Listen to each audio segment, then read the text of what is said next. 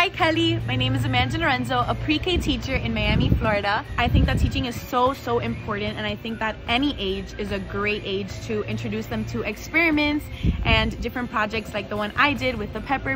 Dip your finger inside the virus water, okay? Did the virus move at all? Did any of the pepper flakes move? No. No, right? Okay.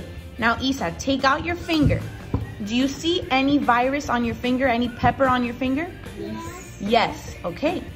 Now, we don't want the virus on our finger, right, you guys?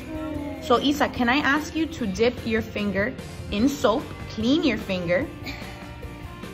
Okay? This is the importance of how we wash our hands. Now, Isa, does your finger have soap in it? Yes. Okay, now can you dip your finger back in the virus? How did it move? Do you see that? Yeah. It moved. You guys saw that? You see how important it is to wash our hands?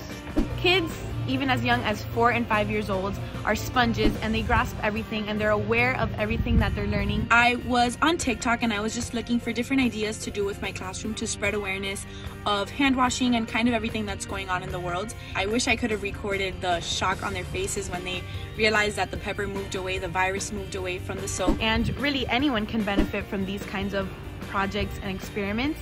I had amazing teachers growing up and I saw the way that they shaped the young minds and the minds of my classmates. So I wanted to do the same for my future kids and my kids now. So thank you so much. I hope you see this and stay safe.